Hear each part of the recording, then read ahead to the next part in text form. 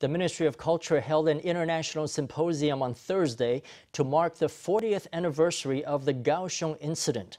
Also known as the Meilidao incident, it was a government crackdown on a pro-democracy protest on December 10, 1979.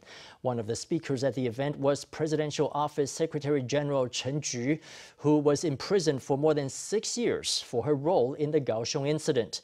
She said in her speech that the oppression of the martial law era also gave Taiwanese the chance to rise up and build a democracy. Chen and the Deputy Culture and Education Ministers attended an international seminar that looked back on the Kaohsiung incident. Chen shared her experience of that chapter of history.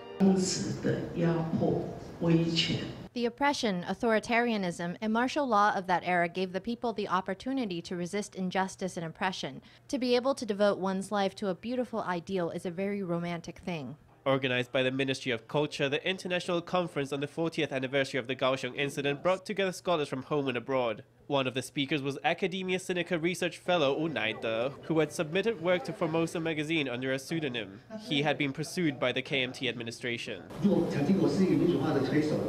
If Chiang Ching-kuo had been the driving force of democratization, how are we to explain the fact that the Kaohsiung incident was seen as the original sin of government subversion? We were sued on charges of subversion by force. He was asked for comment on the legislative campaign of his son Enoch Wu. I'm no expert. One of the great things about democracy is that it's impossible to predict elections. The research fellow kept a low profile as he declined to weigh in on his son's campaign.